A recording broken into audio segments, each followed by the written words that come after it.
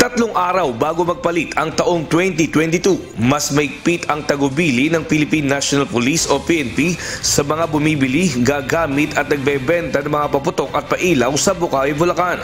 Sa tala ng Bulacan Public Health Office as of January 2022, 61 katao ang kabuuan na naputukan dahil sa firecrackers sa lalawigan. 75% naman sa mga naputukan ay kalalakihan. Paalala ng PNP, bawal magpaputok ang isang nakainom o lasing. Bawal ding magbiruan at pakialaman ang mga sangkap gaya ng pulbura dahil delikado itong paglaruan. Kailangan din itong ilayo sa mga bata para iwas disgrasya. Iwasan po natin na humawak ng paputok pag tayo nakainom. Lalo yung mga bata rin po, wag po natin papayagan humawak po ng paputok. At iwa, iwasan po natin yung ano, magbibiruan, lalo't mag, ano, may hawak po tayong paputok. Marami rin pong natidisgrasya at wag po natin nahaluan. Alam mo naman po ang ating ano, Pilipino, may sa adventure, gusto palakasin pa isang paputok, hahaluan ng kung ano-anong pulbura o lalagyan ng lata, iwasan na po natin yon. Sa ating po mga magulang at ano dyan, pag nakakita po tayo, pagbawalan na po natin sila.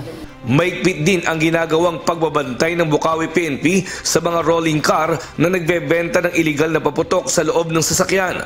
Para mahuli ang mga ito, naglagay na rin sila ng mga police assistance desk na magbabantay. Sa mga nagtitinda naman ng paputok, kailangang mag-stock ng tubig at buhangin sa mga tindahan. Nare-require naman ng Bureau of Fire Protection o gumamit ng fire extinguisher ball sa mga tindahan at storage ng paputok dito sa Bukawi.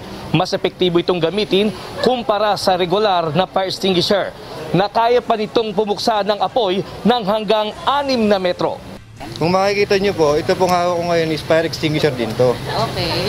Ang pinagkaiba nito, dun sa regular na fire extinguisher, ito po kasi, lalapit kayo within 4 feet, yung tao mismo hahawak. Sa kanya bu ibubuga. Ito po is naka-indicate, nakasabit lang po siya dyan. Kapag kuha niya yung pinakainit niya, kusa na po siyang sasabog. Ito po kasing tindahan sa Bukawi, mga fireworks. Ito po ay isang explosives.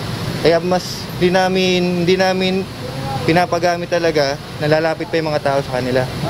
Ng mga fireworks. Imbis, ito na lang gagamitin ng mga paputukan. Sinabi naman ng local government unit ng Bukawi na nanatili pa rin ang kaso ng COVID-19 sa bansa. Bunsod nito, kailangan pa rin anya ang iba yung pag-iingat lalo't dagsa ang mga mamimili. Ugaliing magsuot ng face mask at kung maaari, lahat ng nagtitinda ay fully vaccinated. Dapat sumusunod pa rin sila sa health protocol. Pero mababa na ang list ng COVID dito sa bayan ng Bukawi.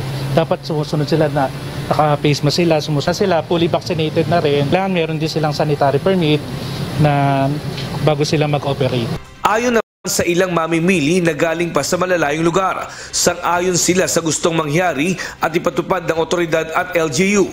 Anila, dapat lang naman unahin ang seguridad at kaligtasan ng bawat mamimili at nagtitinda nang sa gayon ay huwag manganib ang buhay ng bawat isa. Katulad nito, pwedeng gisar na bola. Pag nakadetect ng usok, kusa siyang mag-expose. Kusa siyang mag-aapula ng sunog. Mas, mas, mas mainam to. Para safety sa lahat ng bumibili. May pangamba din. Wala kasagraduan eh. Kasi hindi mo alam kung baka may hindi dyan, tinapon na lang o ano. Hindi mo alam talaga. Kaya dapat yung mga tao dito, tinitingnan lahat ng mga tao dito. Walang naninigarilyo o biglang magtapon ng ano. Hindi nila alam kasi nakakonsentrate lahat sila sa puputok eh. Kaya sa da- dapat may nagmamasid talaga. Kine-check naman po kung talaga pong safe po yung mga binibili, mga nakasil po or tsaka po sa mga binibilan yung safety rin sa shop. Kasi pandemic, maraming dagsaan tao, siksikan. Hindi naman lahat tumitingin sa safety rin ng pinupuntahan, kumbaga. Samantala, sa lahat ng magpapaputok, mainam pa rin na huwag itong hawakan. Kung sisindihan ito, gumamit lang ng mahabang stick upang makaiwas sa disgrasya. Diyos ang aming sandigan, serbisyo publiko ang aming pinahakalagahan.